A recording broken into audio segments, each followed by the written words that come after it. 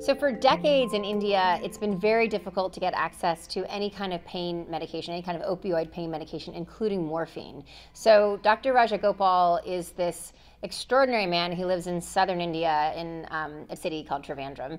And he, as a young medical student, witnessed many of his patients dying these very painful deaths. And he specifically remembered or told me this story about a young cancer patient um, who died this very, very painful death. And he really committed himself at that point to figuring out a way to bring pain medicines to people in India. So uh, Dr. Rajagopal is really considered the, the grandfather of palliative care in medicine. And he's worked uh, diligently over many, many years to try and convince the Indian government to relax some of these very strict narcotics laws that kept opioids out of the hands of physicians and patients. So one of the things I did when I was in Trivandrum is I went out with a team of nurses and physicians who go and visit patients in Dr. Rajagopal's palliative care program.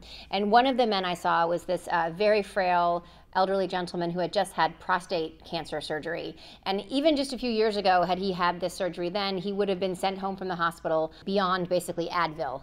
So uh, this team was able to go with him. His wife was able to care for him at home. And even though he was in tremendous pain, uh, he was able to be given morphine at home and, and, and have some relief from his pain. So you, you really got the sense of just the overwhelming need for these kinds of medications in India. And, and, and really the work that Rajagopal is doing is incredibly important to address those needs.